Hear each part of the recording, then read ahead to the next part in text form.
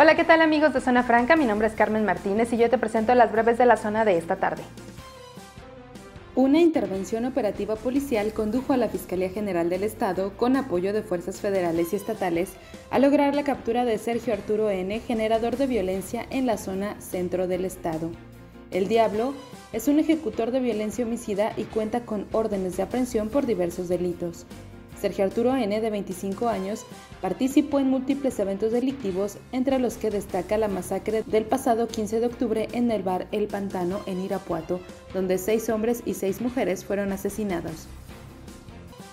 Hombres armados irrumpieron en una clínica hospitalaria donde dispararon y prendieron fuego, mientras que en otros dos ataques una mujer fue ejecutada al circular en su motocicleta y otro joven fue baleado en la calle, esto en el municipio de Celaya.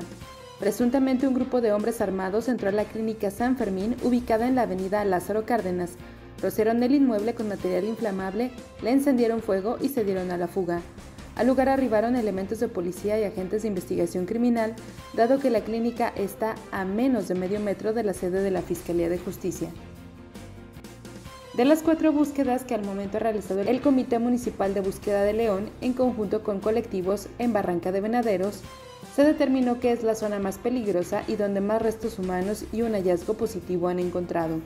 Esto fue señalado por el secretario del ayuntamiento Jorge Jiménez Lona, quien recordó que la semana pasada, tras cuatro días de trabajo, se tuvo un hallazgo positivo en esta zona donde se encontraron restos óseos.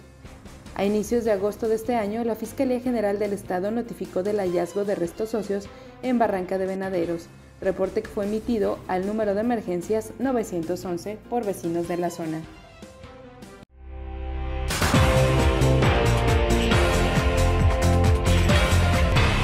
Quédate pendiente de todo nuestro contenido en zonafranca.mx y no te pierdas el siguiente bloque donde te tendremos información importante.